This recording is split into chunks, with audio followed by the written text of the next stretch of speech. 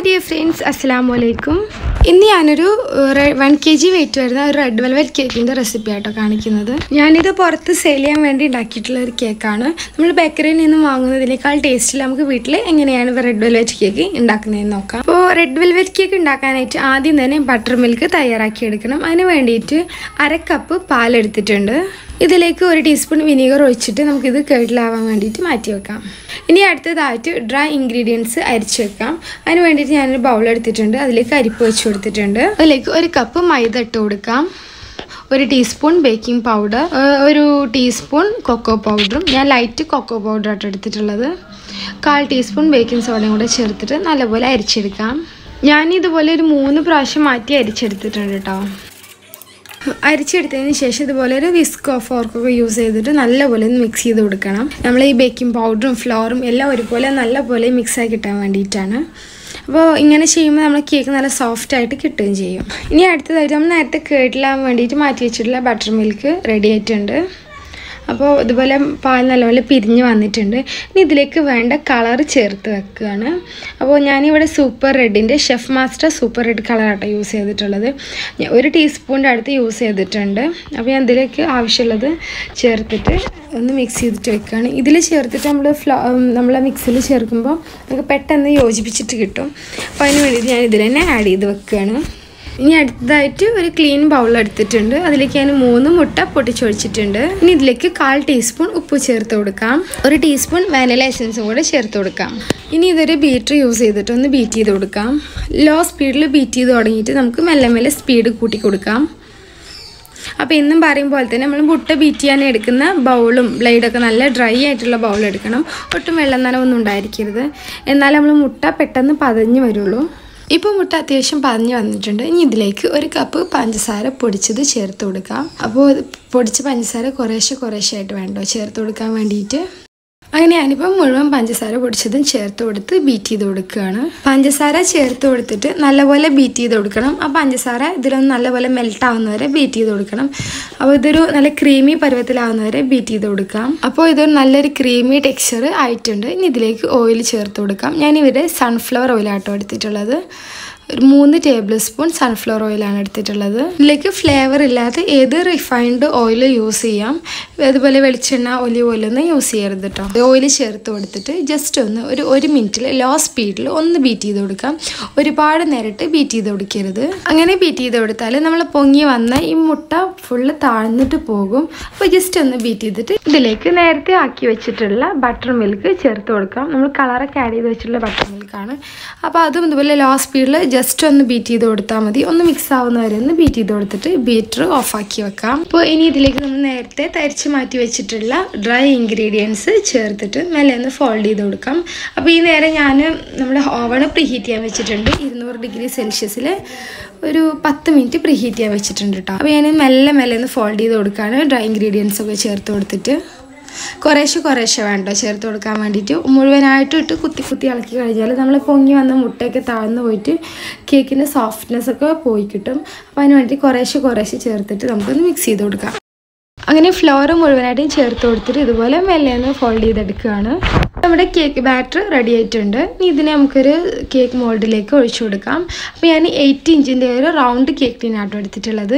അപ്പോൾ ഞാൻ അതിൽ ഓയിൽ ഗ്രീസ് ചെയ്തിട്ട് ബാറ്റർ പേപ്പർ വെച്ച് കൊടുത്തിട്ടുണ്ട്. അപ്പോൾ ഇതിലേക്ക് കേക്ക് ബാറ്റർ ഒഴിച്ചു കൊടുക്കുകയാണ്. അപ്പോൾ ഇനി കേക്ക് ടീന് നല്ലപോലെ ഒന്ന് ടാപ്പ് ചെയ്ത് കൊടുക്കണം. ഉള്ളിലുള്ള എയർ ബബിൾസ് ഒക്കെ ഒന്ന് പോകാനായിട്ട് അപ്പോൾ ഞാനിത് ഓവനിലാണ് ബേക്ക് ചെയ്തിട്ട് എടുക്കുന്നത്. ഇരുന്നൂറ് ഡിഗ്രി സെൽഷ്യസിൽ പത്ത് മിനിറ്റ് പ്രീ ഹീറ്റ് ചെയ്യാൻ വെച്ച ഓവനിലേക്ക് ഒരു നൂറ്റി ഡിഗ്രി സെൽഷ്യസിൽ ഒരു തേർട്ടി മിനിറ്റ്സ് ബേക്ക് ചെയ്തിട്ട് എടുക്കുകയാണ് അപ്പോൾ ഓരോ ഓവൻ അനുസരിച്ചിട്ടും ബേക്കിംഗ് ടൈം മാറും.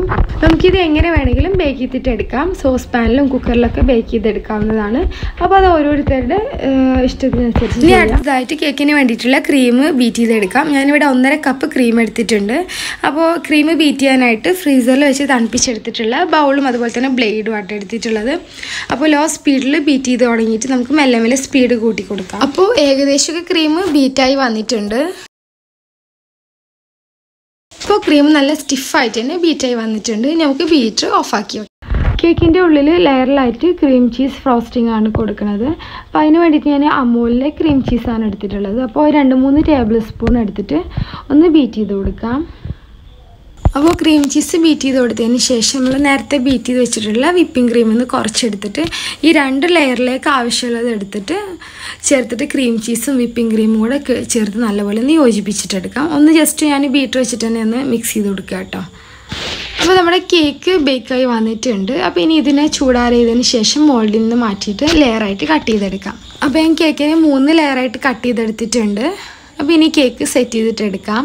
കേക്ക് സെറ്റ് ചെയ്യാൻ വേണ്ടിയിട്ട് ഞാൻ ടേൺ ടേബിളിന് മുകളിൽ ഒരു കേക്ക് ബോർഡ് വെച്ച് കൊടുത്തിട്ടുണ്ട്. അതിൽ കേക്ക് ബോർഡിൽ ആദ്യം കുറച്ച് ക്രീം ആക്കി കൊടുക്കാം. കേക്ക് സ്ലിപ്പായി പോവാതിരിക്കാൻ വേണ്ടിയിട്ടാണ്. ഞാൻ ക്രീം ഇതുപോലെ ഒരു ഐസിംഗ് ബാഗിൽ ആക്കി വെച്ചിട്ടുണ്ട്. ഇനി ഫസ്റ്റ് ലെയർ കേക്ക് വെച്ച് കൊടുക്കാം. നമ്മൾ മുകളിലുള്ള ലെയർ വേണം കേട്ടോ. അടിയിലായിട്ട് വെച്ച് കൊടുക്കാൻ വേണ്ടിയിട്ട്. ഇനി കേക്കിനെ ഷുഗർ സിറപ്പായിട്ട് നല്ലപോലെ വെറ്റ് ചെയ്തിട്ട് എടുക്കാം. ഷുഗർ സിറപ്പിൽ രണ്ട് ടേബിൾ സ്പൂൺ കണ്ടൻസ് മിൽക്ക് കൂടെ ആഡ് ചെയ്തിട്ടുള്ളതാണ്. ഒരു കപ്പ് വെള്ളത്തിൽ അര കപ്പ് പഞ്ചസാര ചേർത്ത് മെൽറ്റ് ചെയ്തെടുത്തിട്ട് രണ്ട് ടേബിൾ സ്പൂൺ കണ്ടൻസ് മിൽക്ക് കൂടെ ആഡ് ചെയ്തിട്ടുള്ളതാണ്. ഷുഗർ സിറപ്പായിട്ട് നല്ലപോലെ വെറ്റ് ചെയ്തെടുത്തതിന് ശേഷം അതിന് മുകളിൽ കുറച്ച് സ്ട്രോബെറിയുടെ ക്രഷ് ചേർത്ത് കൊടുക്കുക. ഞങ്ങളുടെ മലാസിന്റെ സ്ട്രോബെറി ക്രഷ് ആട്ടോ യൂസ് ചെയ്തിട്ടുള്ളത്. അപ്പോൾ ഈ കേക്കിന് മുകളിൽ സ്ട്രോബെറി ക്രഷ് കൂടെ ചേർത്ത് കൊടുക്കാം.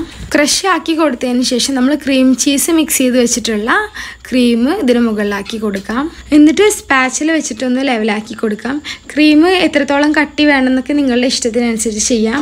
റെഡ് വെൽവെറ്റ് ആകുമ്പോൾ അത്യാവശ്യം കട്ടിയിൽ തന്നെ ചെയ്യണതായിരിക്കും. കേക്കിന് ഒന്നുകൂടെ ടേസ്റ്റ് ഉണ്ടാവുക. ഇനി അതിന് മുകളിൽ കുറച്ച് വൈറ്റ് ചോക്ലേറ്റ് ഗ്രേറ്റ് ചെയ്ത് വെച്ചിട്ടുള്ളതാണ്. അതിട്ട് കൊടുക്കാം. എന്നിട്ട് അടുത്ത ലെയർ കേക്ക് കൂടെ വെച്ച് കൊടുക്കാം. ഇനി നേരത്തെ ചെയ്ത പോലെ തന്നെ ഷുഗർ സിറപ്പ് അത് നല്ലപോലെ വെറ്റ് ചെയ്തെടുത്തിട്ട് കേക്കിന് മുകളിൽ ക്രഷ് ചേർത്ത് കൊടുക്കാം. എന്നിട്ട് ഇതിന്റെ മുകളിൽ ക്രീം ചീസിന്റെ ഫ്രോസ്റ്റിങ് വെച്ച് കൊടുക്കാം. എന്നിട്ട് അത് സ്പാച്ചിൽ വെച്ചിട്ടൊന്ന് ലെവലാക്കി കൊടുക്കാം. എന്നിട്ട് ഇതിന്റെ മുകളിൽ വൈറ്റ് ചോക്ലേറ്റ്സ് ഗ്രേറ്റ് ചെയ്ത് ഇട്ട് കൊടുത്തിട്ട് നമ്മുടെ ലാസ്റ്റ് ലെയർ കേക്ക് വെച്ച് കൊടുക്കാം. കേക്കിന്റെ താഴെഭാഗത്തായിട്ട് ഞാൻ കുറച്ച് ക്രഷ് കൂടെ ആക്കി കൊടുത്തിട്ടുണ്ട്. എന്നിട്ട് അതിന്റെ മുകളിലാണ് ഷുഗർ സിറപ്പായിട്ട് നല്ലപോലെ വെറ്റ് ചെയ്തെടുത്തിട്ടുള്ളത് ഇനി ക്രീം വെച്ച് കേക്കിനെ മുഴുവനായിട്ട് ഒന്ന് കവർ ചെയ്തിട്ട് കൊടുക്കാം. ഞാൻ ക്രീം ചീസ് ചേർത്തിട്ടുള്ള ക്രീം ഉള്ളി ലെയേഴ്സിൽ മാത്രമാണ് ചേർത്ത് കൊടുത്തിട്ടുള്ളൂ. പുറത്ത് ഫുള്ളായിട്ട് കവർ ചെയ്തെടുക്കുന്നത് വെറും വിപ്പിംഗ് ക്രീം വെച്ചിട്ട് മാത്രമാണ്. അപ്പോൾ ഞാൻ അതിനെ ഒന്ന് നല്ല ഫുള്ളായിട്ടൊന്ന് കവർ ചെയ്ത് കൊടുക്കാം. അപ്പോൾ അത്യാവശ്യം നല്ല കട്ടിയിൽ തന്നെ ക്രീം വെച്ച് കൊടുക്കുകയാണ്. അപ്പോൾ ഞാൻ ഇത് കുറച്ച് കട്ടി കുറവുള്ള മുകൾ ഭാഗത്ത് കുറച്ച് കട്ടി കുറവുണ്ട്. അതുകൊണ്ട് കുറച്ചുകൂടെ ക്രീം വെച്ചിട്ട് ഒന്നുകൂടെ നല്ലപോലെ ഒന്ന് ലെവൽ ചെയ്ത് കൊടുക്കുകയാണ്. എന്നിട്ട് ഇനി ഈ കേക്കിനെ ഒന്ന് നല്ലപോലെ ഒന്ന് ഷേപ്പ് ചെയ്തിട്ട് എടുക്കാം. ഒന്ന് എല്ലാ സൈഡും ഒന്ന് ലെവലാക്കിയിട്ട് എടുക്കാം. അപ്പോൾ കേക്കിനെ ഏകദേശം നല്ലപോലെ ഒന്ന് ഫിനിഷ് ആക്കി എടുത്തിട്ടുണ്ട്. അപ്പോൾ ഇനി കേക്കിനെ ഡെക്കറേഷൻ ചെയ്തിട്ട് എടുക്കണം അപ്പോൾ റെഡ് വെൽവെറ്റിന് സാധാരണയായി കൊടുക്കുന്ന ഡെക്കറേഷന് കേക്കിന് ക്രംസ് വെച്ചിട്ട് തന്നെയാണ്. അപ്പോൾ ഞാൻ അത് ആദ്യം പറയാൻ വിട്ടുപോയതാണ്. ഞാൻ അതിന് കേക്കിൽ നിന്ന് ചെറിയൊരു പീസ് എടുത്തു വെച്ചിട്ടുണ്ടായിരുന്നു കേട്ടോ ഡെക്കറേഷന് വേണ്ടിയിട്ട്. അപ്പോൾ ഞാൻ കേക്കിന്റെ ഒരു സൈഡിലായിട്ട് ഒരു ബൗൾ വെച്ച് കൊടുക്കുന്നുണ്ട്. ബാക്കിയുള്ള ഭാഗങ്ങളിലായിട്ട് ഈ ക്രംസ് ഒന്ന് ആക്കി കൊടുക്കാനായിട്ട്. അപ്പോൾ ഈ ക്രംസ് ഞാനൊന്ന് ചൂടാക്കിയിട്ട് മിക്സിയിലൊന്ന് പൊടിച്ചെടുത്തിട്ടുള്ളതാണ്. അപ്പോൾ ഇതുപോലെ അരിപ്പയിലൂടെ ആക്കി കൊടുത്താൽ നമുക്ക് നല്ല വൃത്തിക്ക് തന്നെ കിട്ടിക്കോളും മുകൾ ഭാഗത്ത്. അപ്പോൾ ഞാൻ എല്ലായിടത്തും നല്ലപോലെ ഒന്ന് ഈ ക്രംസ് ഒന്ന് സ്പ്രെഡാക്കി കൊടുക്കുകയാണ് ക്രംസ് എല്ലായിടത്തും ഒന്ന് ആക്കി കൊടുത്തതിന് ശേഷം ആ മുകളിലുണ്ടായിരുന്ന ബൗൾ എടുത്ത് മാറ്റിയിട്ടുണ്ട്. സൈഡ് ഒന്ന് വൃത്തിയാക്കി എടുത്തിട്ടുണ്ട് കേട്ടോ ഈ ക്രംസ് ആക്കി കൊടുക്കാത്ത ഭാഗത്ത് ഞാൻ നെയിം എഴുതി കൊടുത്തിട്ടുണ്ട്. വിപ്പിംഗ് ക്രീമിൽ കളർ ആഡ് ചെയ്തിട്ടാട്ടോ നെയിം എഴുതി കൊടുത്തിട്ടുള്ളത്. ഇനി ഇതിന്റെ റൗണ്ട് ഒന്ന് ഫിനിഷ് ആക്കി എടുക്കാൻ വേണ്ടിയിട്ട് റോസ് ഫ്ലവേഴ്സും കൂടെ വെച്ച് കൊടുക്കുന്നുണ്ട്. ഡെക്കറേഷൻസ് ഒക്കെ ഓരോരുത്തരുടെ ഇഷ്ടത്തിനനുസരിച്ചിട്ട് മാറ്റങ്ങളൊക്കെ വരുത്താം. റെഡും വൈറ്റും കളറ് മിക്സ് ചെയ്തിട്ടാണ് കേട്ടോ ഫ്ലവേഴ്സ് വരച്ചു കൊടുക്കുന്നത് അതായത് ഐസിംഗ് ബാഗിന്റെ ഒരു ഭാഗത്ത് കുറച്ച് റെഡ് കളറിൽ ഉള്ള ക്രീമും അതുപോലെ തന്നെ മറു മറ്റു ഭാഗത്തായിട്ട് ഒരു വൈറ്റ് കളറിലുള്ള ക്രീമും കൂടെ രണ്ടും കൂടെ ഒരുമിച്ച് വെച്ചിട്ടാണ് ക്രീമിൽ ഫ്ലവേഴ്സ് വെച്ച് കൊടുക്കുന്നത്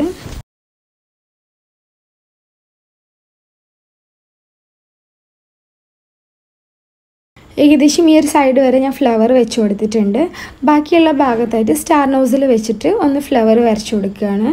അതേ സെയിം നോസിൽ യൂസ് ചെയ്തിട്ട് തന്നെ അടിയിലൊരു ബോർഡറും കൂടെ വെച്ച് കൊടുക്കുകയാണ്. എല്ലാം ഇതുപോലെ റെഡും വൈറ്റും കൂടെ മിക്സ് ചെയ്തിട്ടാട്ടോ ചെയ്യുന്നത്. ഇപ്പോൾ കേക്കിന്റെ വർക്ക് ഏകദേശം എല്ലാം കഴിഞ്ഞിട്ടുണ്ട്. ഞാൻ നെയിം എഴുതി കൊടുത്തതിന് മുകളിലായിട്ട് ഷുഗർ ബോൾസ് കൂടെ വെച്ച് കൊടുത്തിട്ടുണ്ട്. ഒന്നുകൂടെ ഹൈലൈറ്റ് ചെയ്ത് കാണിക്കാൻ വേണ്ടിയിട്ടാണ്. ബാക്കിയുള്ള ഭാഗത്തൂടെ ഷുഗർ ബോൾസ് കൂടെ ഒന്നുകൂടെ ഇട്ട് കൊടുക്കുന്നുണ്ട്. സിൽവർ ബോൾസ് ആണ് ഇട്ട് കൊടുത്തിട്ടുള്ളത്.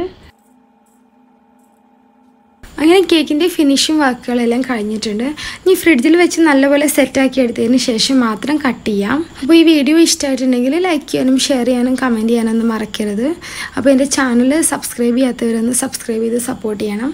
അപ്പോൾ ഇനി പുതിയൊരു വീഡിയോ ആയിട്ട് വീണ്ടും കാണാം.